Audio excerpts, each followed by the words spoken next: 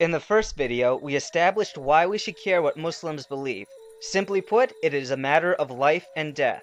Muslims believe that it is okay to tell us that Islam is a religion of peace, when in fact it has resulted in the deaths of 10 million Buddhists, 60 million Christians, 80 million Hindus, and over 120 million Africans. To lie on behalf of such a murderous doctrine is to aid and abet the terrorists that continue the legacy today. This is my thesis. It's time for me to prove it. After all, if Islam were really as bad as I'm making it seem, every Muslim man, woman, and child would be a terrorist. Fortunately, most Muslims do not follow Muhammad's example and prefer peace to fighting. Unfortunately, most Muslims don't know their own scriptures and thus protest Islam's guilt when the ones who do read it wage jihad.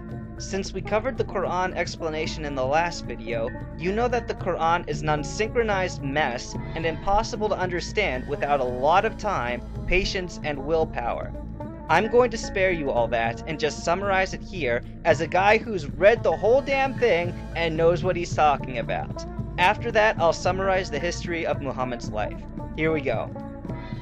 I slash we, Allah, am slash are the only God there is. I am the same God as that of the Jews and Christians. The Jews used to be Muslims, aka those who submit to me, but they all massively conspired to rewrite their history, and now they're all liars.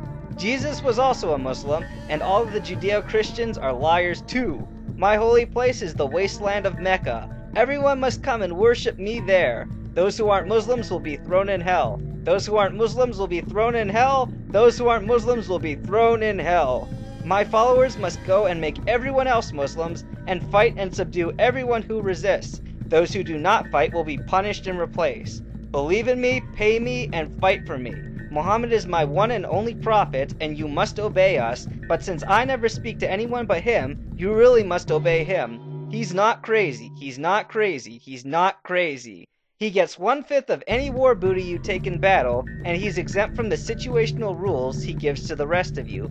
Honor him and love him more than your family, your wealth, and your possessions. I am oft forgiving, most merciful, but I will never forgive the transgressors. Kill them. Anyone who opposes me and my messenger will have a humiliating punishment, which I describe in great detail. Anyone who obeys Muhammad will be rewarded in a paradise designed for men only, in which their most carnal cravings for food, wine, and sex will be satisfied. Sounds bad, doesn't it? Well, I'm not presenting anything incorrectly. There's a reason that the Islamic nations are the least free, least educated, least civil, most impoverished, most dangerous, and most oppressive places on earth. I am ready and able to quote Quran verses and Muslim historical sources to back up anything I said in the summary. However, let's first do that abridged Islamic history and biography of Muhammad's life. It's longer than the Quran summary, but it should also be more revealing of Islam. Here we go. Allah created everything in several conflicting creation accounts. He made man out of a blood clot. Uh, no, stinking clay. No, a drop of sperm. Uh, whatever. The point is, man was created. Satan deceived man into disobeying Allah, and since then, many men have disbelieved. According to Muhammad, Allah sent prophets to various nations who acted just like Muhammad. They told people to submit to Allah. The people teased them, so the prophets teased back. Then Allah destroyed the people. Muslim prophets ranged from the polytheistic Alexander the Great to the self-promoted son of God, Jesus. But they were really Muslims. Anyone who says otherwise is a hell-bound disbeliever. Muhammad was born in Mecca, but had a rotten childhood because his father soon died and his mother abandoned him to a wet nurse. In his insecurity, he later married a woman old enough to be his mother. Muhammad spent much of his time in caves, observing the pagan rites of Mecca, until he encountered a spirit one night. The spirit, who claimed to be Gabriel from the Bible, beat Muhammad up, then told him to warn the Meccans about Allah. Muhammad felt like he'd been demon possessed and attempted suicide multiple times, but he never followed through. He ended up accepting his prophetic role after much urging from his wife, but in the first 10 years of his life, he only converted about 15 Meccans to submission. The other Meccans wanted a sign from him to prove he was a prophet, and when he couldn't perform one, they ridiculed him and accused him of plagiarism. In response, Muhammad mocked them back, cursed their gods, derided their parents, and threatened to slaughter them. As tensions mounted, the dozen Muslims would lash out at the Meccans, and the Meccans would persecute the Muslims in an attempt to make them drop Islam. Muhammad, however, remained safely under the protection of his uncle. Then one day, things changed forever during an Arab pilgrimage. As neighboring clans were visiting their idol gods in Mecca, Muhammad went around trying to convince them that he was a prophet.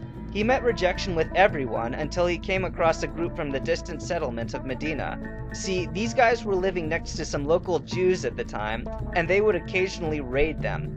The Jews would tell them that their Messiah was coming and that they would have their vengeance. Thus, when the Medina Arabs saw Muhammad, they mistook him for the Jewish Messiah. To thwart the Jews, they accepted him as a prophet, and Muhammad finally had himself an armed force. Allah then conveniently gave Muslims permission to fight, and they quietly declared war against all non-Muslims. When the Meccans realized what was happening, they attempted to assassinate Muhammad, but the Prophet used his cousin as a decoy and escaped to Medina. The rest of the Muslims went with him. From that point on, the war of words turned to swords. Muhammad needed money and weapons to fund his campaign, so the first Muslims went on raiding expeditions, robbing Meccan trade caravans.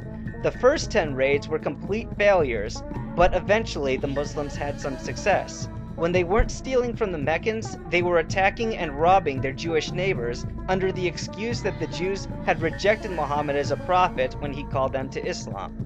They were besieged, starved into submission, and then banished from their homes.